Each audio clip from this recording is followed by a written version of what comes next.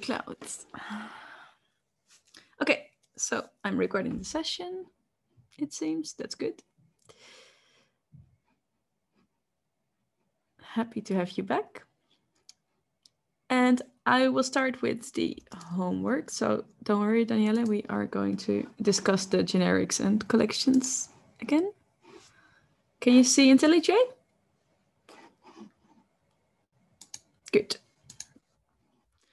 So as usual, we'll start with discussing the homework and then we will actually continue a bit on collections and I'll tell you a bit about all the methods that exist on collections. I don't think this will be an hour session, so you'll have your Saturday evening back really soon. Um, next week though, no. let's uh, start with the homework. So I think the first assignment was to replace arrays with appropriate collections, right? Um, so arrays were these guys with square brackets. And an array was actually an element that could contain multiple elements of the same type, but it had a fixed length. So that was kind of a limitation to it. And there were more limitations. So actually it would be nicer to have a collection here. So what would be the best collection for teams and rounds and actually for all of these? What do you guys think? Let me quickly see if I can find the chat. List. Yes, that's what I would go for as well. So the collection would be list like this. And the generic, that's what's going between the, um, how do you say it? The diamond, in between the diamond operator that's the type that should be on the list. Well, in case of teams, the type should be team because on this list, there will be teams, so team objects. So this is the collection and this is the generic. So it's a list of teams. But the main element, it's a, it's a list. So if we, we can actually go to the list declaration, it's an interface. But you can see here, it's a list and the E in here, it's being replaced with uh, teams in this case. So if we go down a little bit, we can actually see that everywhere it says E in here, that will be replaced with teams. So let's have a look. There should be something that add, for example, add all, add all, remove all. Let me look for add. Not on the interface. That'd be weird. It's possible though. Um. There we go. So you can see that add is of type E. So when we say list team, the add method is going to be specifically for teams. So we can only add teams or to our list of teams to make sure that there's will be only teams on it. Does that make sense, Daniela? Yes, good. Then for round, again, we will have a list, but the generic will be of type round because it will be a list of rounds. And then here we have uh, the winners and the losers. Actually, it should be win S, I guess. And again, the type of winners, that those are teams, and the type of losers are teams as well. So they both are lists of teams. But something's happening now, and that's all our getters and setters. They still have the array, so they're all broken. So I'm just going to remove them and generate them again. Like this. And I could right click and I can say generate, or I can just do alt insert. And I can say getter and setter, select them all and hit OK. And then I now have the getters and setters with the lists um, yeah, with all the list of teams, rounds, etc. Um, what's still in red here? Ah, so our play tournament method now is broken as well because it assumed we are using arrays. And right now we're no longer using arrays, we started to use lists. So we have to replace this. And actually, this was really ugly, so that's a good thing. So this will get prettier. Let's start on top. Um, I'm thinking right now because we can do it the easy way. We can just replace this with size because the length of um, a list we get with size instead of length. It's a method right now. And here we can say um, rounds gets, and then just go for i. But we are getting the list of rounds. And actually we want to uh, set the team's winners to it. So we can do it easier, I guess, because it was winners equals teams. Mm. So let me check, what am I doing here? So saying winners, oh yeah, so winners equals uh, the round dot play round. Yeah, so we can do this much easier actually. If I'm going to remove all of this, I can do a for each loop. Do you guys remember that one? We can say for every round, in rounds, I want to do the following. And that is actually um, winners equals round dot play round, like this. Hmm, why not like that? Oh, I need to send in the um, winners here, like this. Ah, and it's still expecting an array of, um, of teams. So I'm going to fix that soon. Actually, I'm going to fix it now because this is all of it. So I'm going to go to round and I'm going to the play round method. And that is right now. Okay, this is going to be a lot of work, but it's going to return a list of rounds. And then in here, I actually have to replace uh, this function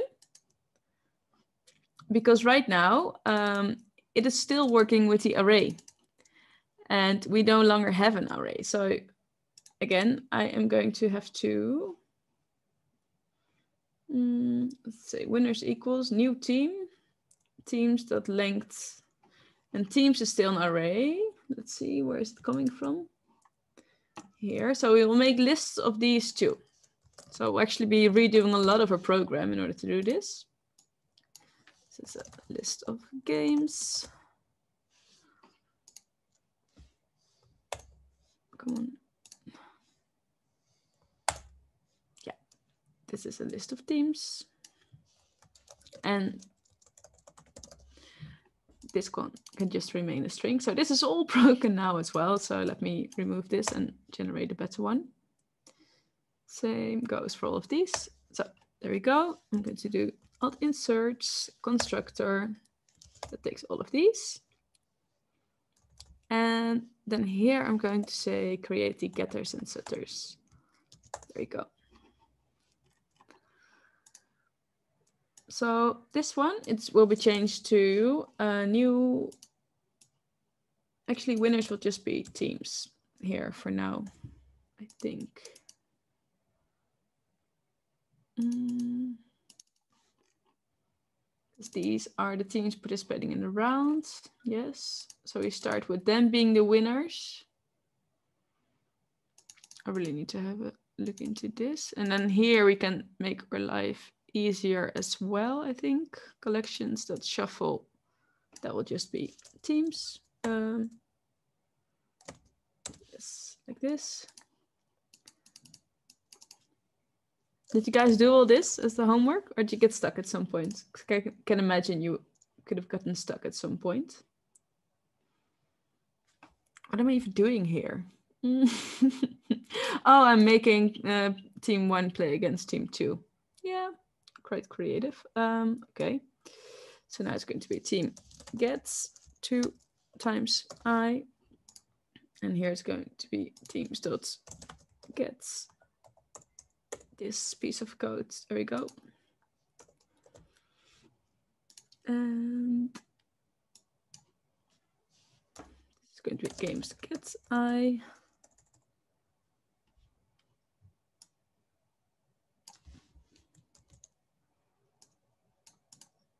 So I'm rewriting to get rid of the arrays and to start using the uh, teams, but this is actually let's see, because this is different though, because I'm saying winners I and winners used to be, so I just need to do add here, I guess.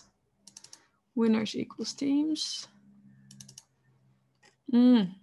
So I think here winners is just a new array list like this. And then here we can just say winners dot add games gets I play a game like this. I think something like this should do the trick. Need to add an extra closing parentheses over there. Mm, I'm not returning a list of rounds, I'm returning a list of teams. Here we go. Um, so if you go back here, this one is going to be fine now, I guess. We don't need this. There we go. So you can actually replace um, or play tournament with this. Let's see, for every round in rounds, winners equals round dot play round. Um, yes, but here we have to do something different though, because we'll have to do an add all because we don't want to override it. We want to add them and remove them again. Hmm. I'm a bit confused because for the rounds, we'll have to set the winners of the current round. Yeah, so we actually need, um, so we'll have to say something like round dot sets uh, winners and then just do this round dot play round like this. But we'll, we'll need to know who's still in the game. So this play round method of ours over here um, this, we'll have to actually set the teams participating before we kick off the round. So on top here, we'll have to say um, round, uh, no, yeah, round dot sets teams and what do we need to set the teams to? Well, to whoever has won in the previous round. But that's difficult because we lost the previous round. So we'll need to keep track of that in our tournament class. Well, what do we have over here? You have teams, rounds, winners, and losers. Losers we're not filling up yet. So we'll just stick with winners still. And we can say that we set the teams to the winners. But this um, the winners of the round are the ones that our play round method is returning. And then we'll have to override these winners with that too. Because actually we, um, the next time we are going to use winners for the next round. So we'll have to override it. So we need it twice. So we'll actually say winners equals round to play round. And then we'll set the winners in the round in here if we're not doing it yet. Winners equals, now we are doing that, so that's fine. They are set after the round because we set them in our play round method. Do you guys see that? Can I imagine this can get a little bit confusing?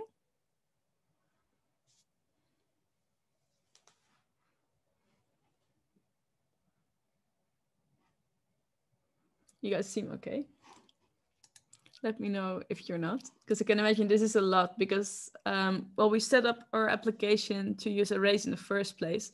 So if you want to replace them all we actually have to change a lot and actually we have to change even more but i'm not going to do that. I will but not right now. Because for example i think game no game doesn't have it. Around i replaced replaced the ones in tournament it's not too bad. The only thing, uh, our app, it's terrible. I just turn it all off because I, I bet to do this again at some later point. Mm, yes, this looks good. Yeah. All right. Any questions about this, about the homework? Is the difference between the collection and the generic clear, uh, Daniela? Yes? Okay, good.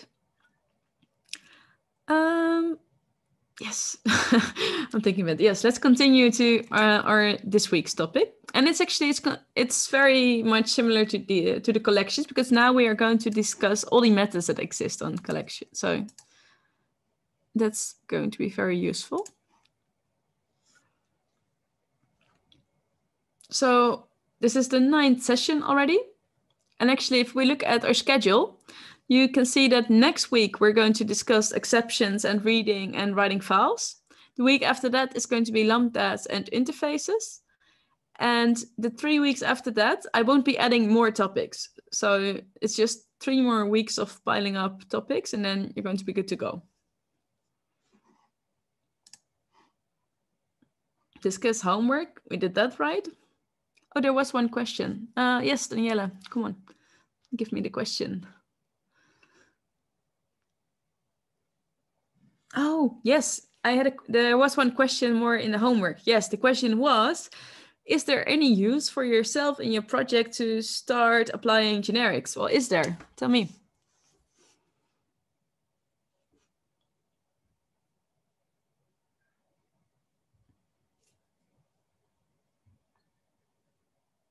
Okay, I'll tell you.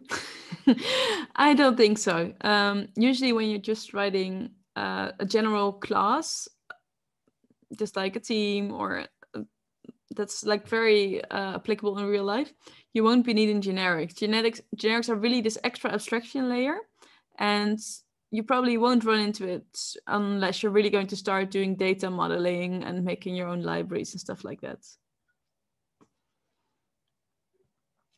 All right, so last week we discussed the collections framework. And I said that it pretty much existed to store groups of objects rather than single objects. Well, very much like uh, arrays to some extent. But the collection framework, it has lots of extra benefits and we'll see them today. Because um, many of these benefits, they're inside all the methods that the collection framework comes with. So I didn't tell you something last week that I will be telling you this week. And then you can forget about it for another two weeks. So the collection framework actually consists of four main groups. I told you that, right? It has lists, sets, queues, and maps. But what I didn't tell you is that these are all interfaces. And we didn't discuss interfaces yet. We've seen classes though. We've seen our own classes or class tournament or example class dog, all these classes, which is properties and methods. Interfaces are a little bit like a class, but then not really. So they are usually separate files. So they're like classes in that sense.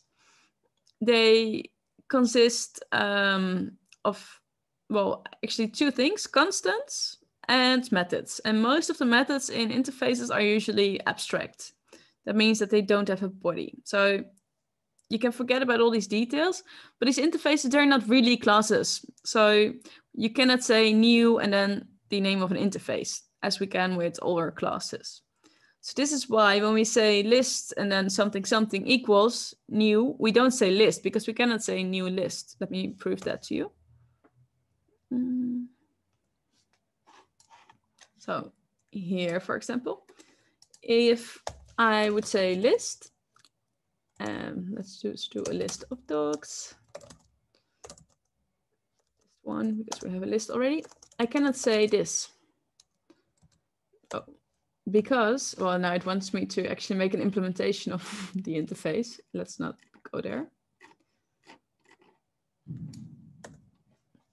Because this is an interface and I cannot instantiate an interface. So this is not possible. But what is possible is when I say ArrayList. Because this one actually is a class. Look, it, oh, it's a class. So we can say new array list in this case. Um, but this one, it's an interface. Look there. So we cannot say new list. Okay, good. Um, but if you have a look at this list, list one, you see all these methods and they're super useful. We can use them for all sorts of purposes. Um, you can grab stuff from the list, remove special indexes, we can add things, we can add a bunch of things, get the lengths, remove everything on the array. We can do a lot of things. Just go and have a look at all the things you can do. And when you dive into these, things gets really interesting, but I'm going to uh, not bore you with that yet. That's for two weeks from now, so don't worry too much about it yet. Um, let's go back to our PowerPoint. Yes, so these are our four main interfaces that are part of the collections framework. And they all have many implementations. So for example, list, we've seen array list, but there's also a linked list. And we have the set, the unordered unique values. We have the hash set, but we also have uh, the ordered sets, the tree set, I think. So there's a whole bunch of uh, types of special sets. Same for queue and the same for a map. But today we'll just use the most uh, common ones. Let's um, start having a look at all of these. So here we have the array list. Um, we can add stuff to it. The set, a hash set in this case, add stuff to it.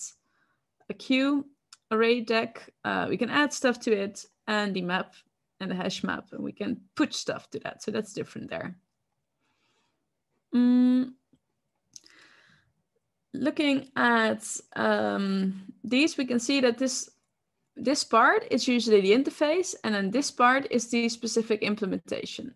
So this part will never be the interface, but technically this part could also have been array list instead, because that's the type, so that would have worked just fine. Well, let's start with the stop one and dive into that first. So, oh, mm, hold on. I told you I was going to be quick, but I don't want you to go that quick. Um, there we go. Oh.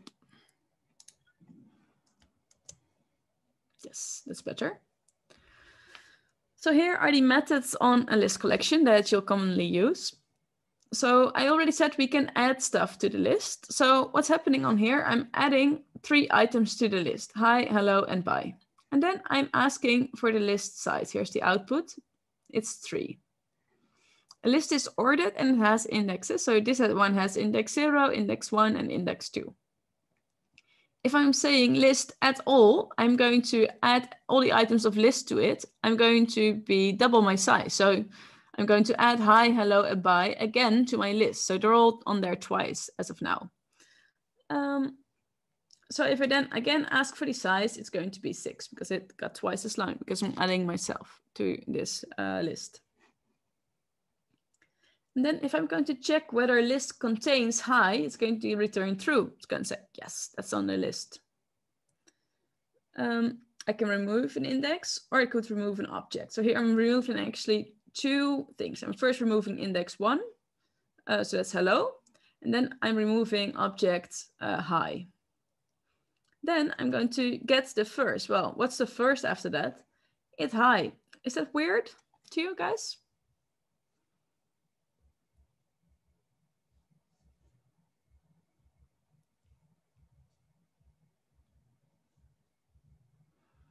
Mm, why does it say zero? Mm -hmm. Oh, this is an O. It's for objects.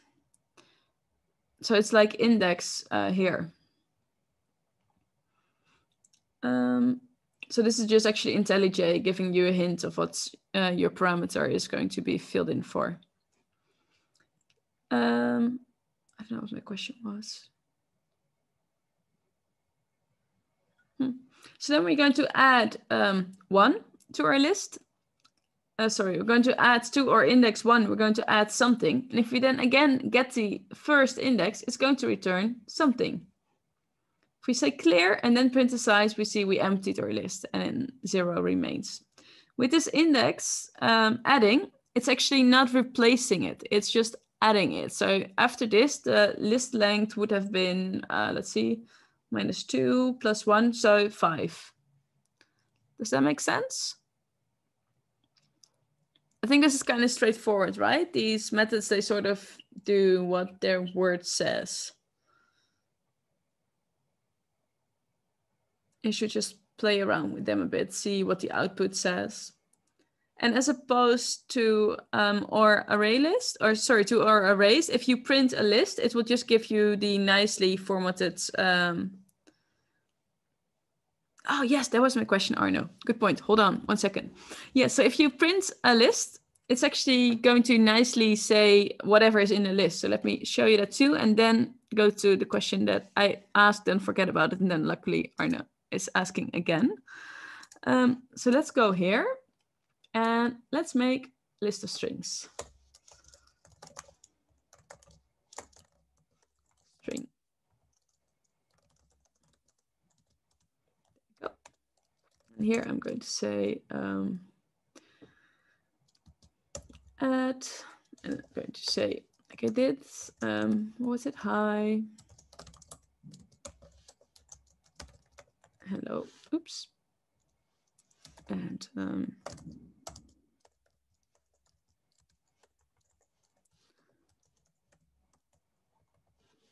like this. And then I can actually just print the whole list like this. It will look nice. And then I can list remove. And I can say it should remove or object hi. And then I will print it again. There you go. Let's run this very sophisticated program.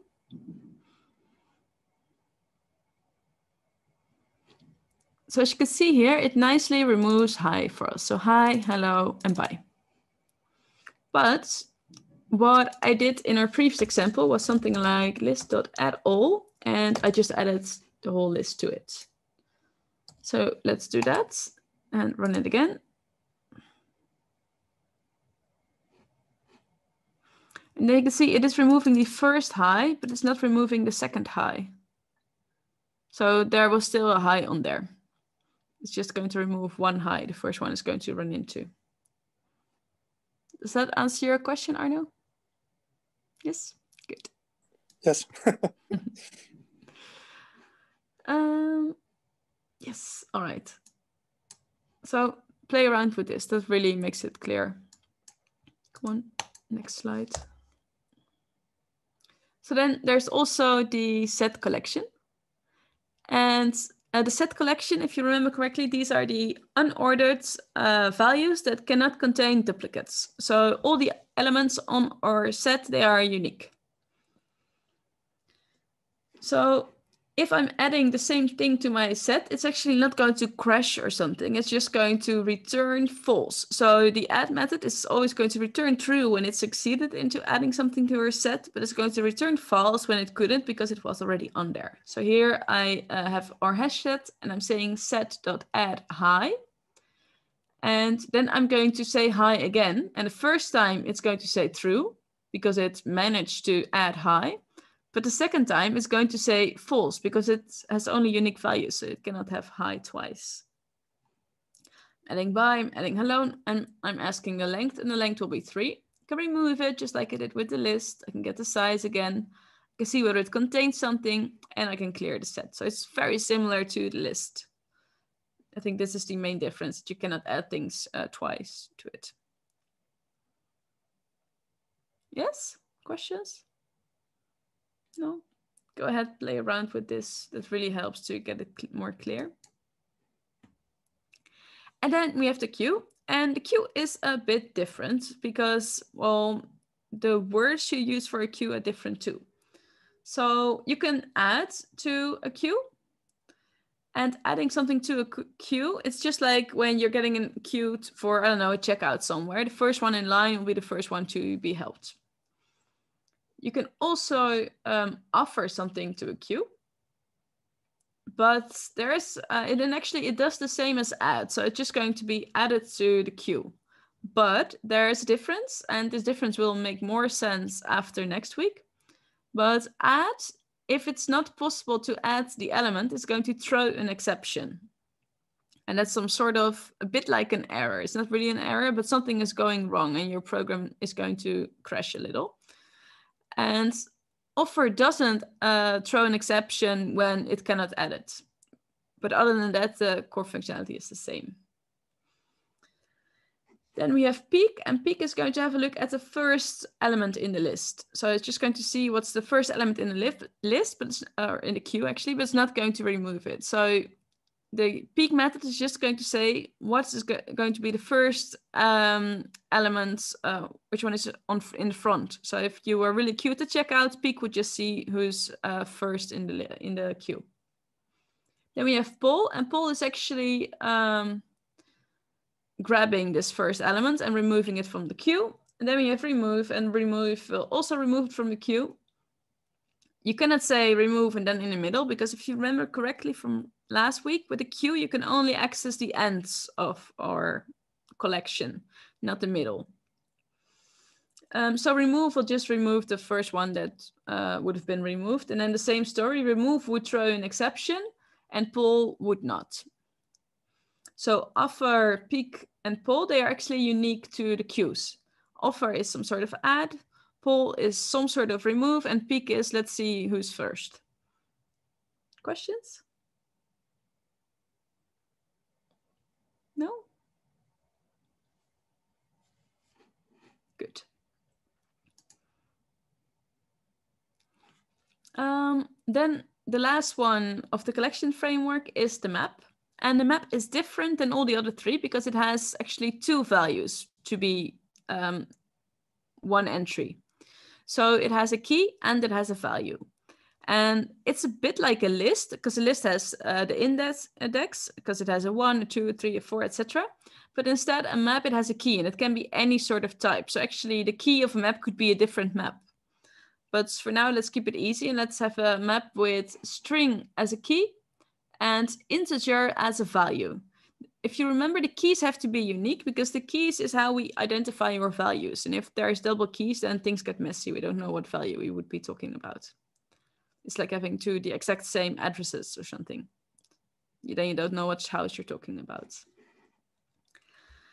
Um, so here we put four elements to our list with four different names and four different values. You can imagine these could have been, I don't know, names and ages. And here we're going to do some of our map methods. And one of those are the contains key and the contains value. So contains key is going to do a search here and contains value is going to do a search over there. Well, both of these exist, so they're returning true. Then if we get Beth, we're grabbing this, uh, this value over here, the 32. If we ask the size, we get the number of entries it has. So these pairs, we call them entries. And then there is a few things that are actually unique as well. And that's the key set and the values. And key set is actually going to return a set of the keys. And we have values and values is going to return some sort of list of all the values. And we can ask for entry set, and then we're just going to get ORs uh, in pairs back like this. So these are the methods that live on the map collection.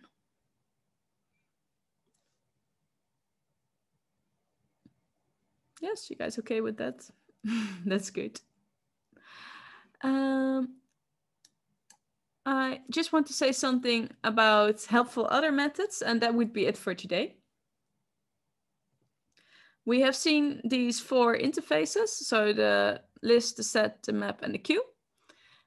And there's actually some external things that are very useful to combine your collections with, and they are on some sort of helper classes or utility classes, as they are also called. And we have the arrays dot something and the collections dot something. And the collections is the class and the arrays is the class. So for example, arrays has an as list uh, method. And if we insert an array in there, it's going to return a list of that same type. And the collections has a shuffle method that's just going to change the order of whatever collection we're putting in. Then there's also a binary search method, which is um, for finding something. And there's even more useful methods on these classes. And if you want to do something and it's not possible with the methods on the interface itself, it's very likely that you'll find yourself ending up using arrays or collections instead.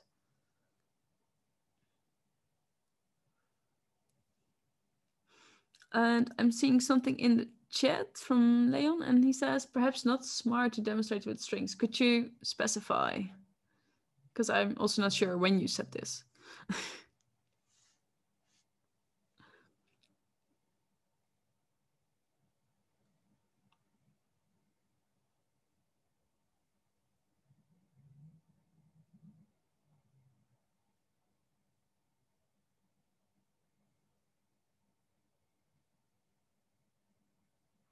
Ah, the uniqueness with sets. Yes, that could have been a problem, but these were luckily in string pool, so it was going to be fine.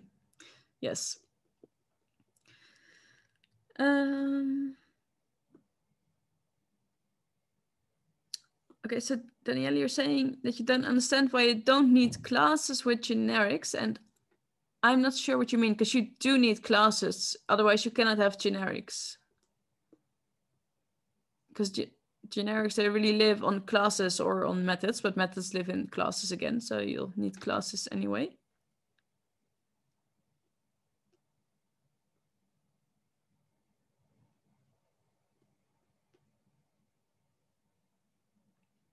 Oh, you don't understand why I don't need classes in our project with generics.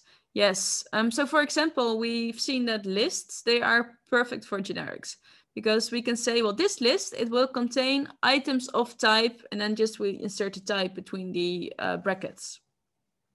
But in our homework, we don't really have classes that are suitable for generics because we have players and players are quite plain. They just have similar, um, yeah, it's just the same kind of thing all the time. We have teams and there's nothing too variable about that either. You have a game, you have rounds.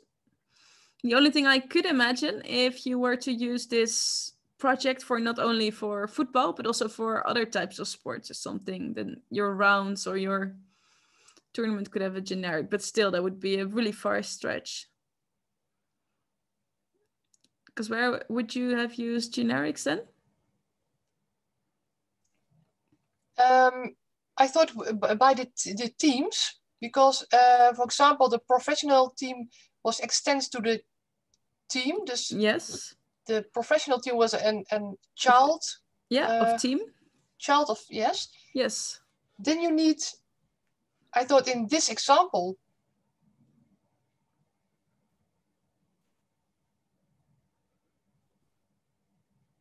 So you thought that maybe you could have a team with some generic specifying whether it was professional or amateur or something like yeah, that. Yes.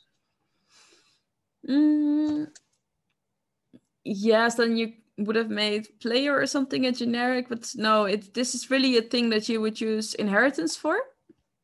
And generics are really for um, making variable types inside your class. I think they call those parameterized types. So for example, if something in your class, um, if your class could be reused for multiple cases, but then you'd only have to replace some sort of type in your class with an X, with a variable, this is when you would use generics. And if we have a look at our team, um, hold on, trying to go to our team. Yes, here it is. I made it abstract, but I'm not sure what here would have been the generic then because if you look at what makes it, I'm not sure those, those might be empty. Yeah, so this uh, budget and this amateur team, oh, amateur team doesn't even have it. But the professional team, it has an extra variable and you cannot give it an extra variable using generics. You would really have to use inheritance for that. Does that help? Yes, sort of. yes, just play around with it more. It it should get clear. And also, I I added some uh, articles uh, in the video on these topics, so you could also dive into these to see if it, if it's if you understand it better and see then you can better understand the difference between the two. Mm, any other questions at this point?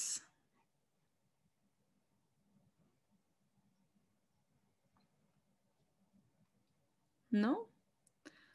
Okay. Um, then after the session, I'm going to upload um, the session clearly. And there's no additional videos this week, but under the session, I will add the homework and I will add some articles that contain some more in-depth information. And the next week, we'll be discussing exceptions and reading and writing files, which is super cool because then after a program, we've made some permanent changes and that's quite awesome, right? All right. Um, thank you so much and have a lovely week. Thank you. bye bye. Bye bye.